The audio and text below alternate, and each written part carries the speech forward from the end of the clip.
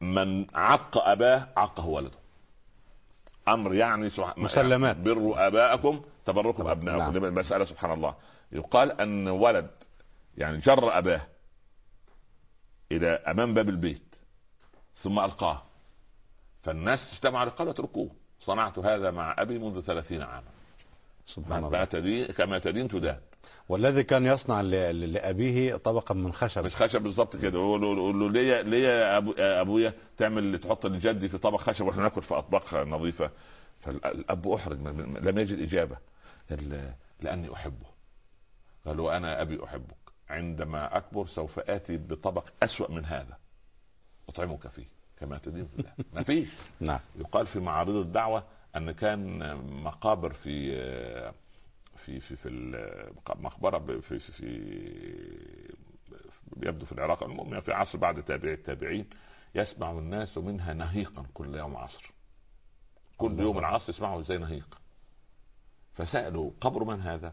هذا قبر ولد كانت كل ما يجي وقت الصلاة تقول له يا بني الصلاة يقول أنهقي نهيقك. هو هتنهق وتقول لنا الصلاة. فتحول القبر بهذا المنطق. والعياذ بالله. نسأل الله السلامة.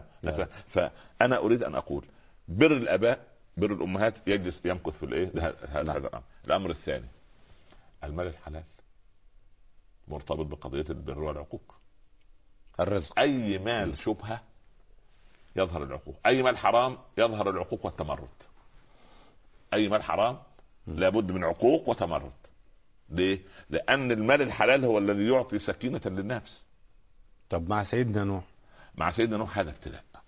هذا ابتلاء ابتلاء لسيدنا نوح. هذا ابتلاء لسيدنا نوح. لرفع درجاته. لأن الولد تمرد تمرد غير طبيعي. يا لطيف. ملوش دعوة بأسباب. آه هذا من تلقاء نفسه آه كده ده, ده, ده عشان في نقطة. عارف قصة ابن سيدنا نوح دي؟ م. اللي عنده ولد عاصي أو عاق أو مش ولا بد والاب بذل كل ما يستطيع من عمل خير والولد صغير ولكن الولد تأبى.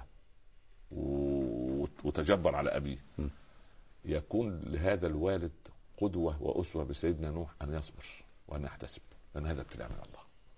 يعني أنا عملت اللي علي أتيت بأموال حلال ربيت الولد علمت القرآن وعلمت نعم. في المدارس. م. عملت ما ما يعمله لم تبخل علي لا سبحان ولم أقصر ولم اتوانى ولكن الولد طلع متمرد. طبيعته كده. سبحان الله. هذا ابتلاء. هذا ابتلاء. هذا ابتلاء شديد لهذا الاب يعني إذا وجد عقوق في بيت فليراجع رب البيت منبت رزقه من أين؟ ده الأمر الأول. الأمر الثاني ألا يكون ظالما. الأب. صح. وهو يقتص منه. سليم. أنت ظالم أنت بتظلم الناس طب خذ. وادي فلذة كبدك سبحان الله لا, لا يرقب فيك إلا ولا ذمة. نعم. هذا سبحان الله. نعم. فده ده الأمر الثاني. الأمر الثالث سبحان الله العظيم أن العبد لا ينسى أن يدعو لأولاده وأبنائه في كل وقت وكل حين. الدعاء مستجاب. لأن الدعاء على الولد أيضا مستجاب. أيضا. آه يعني الدعاء له مستجاب والدعاء عليه.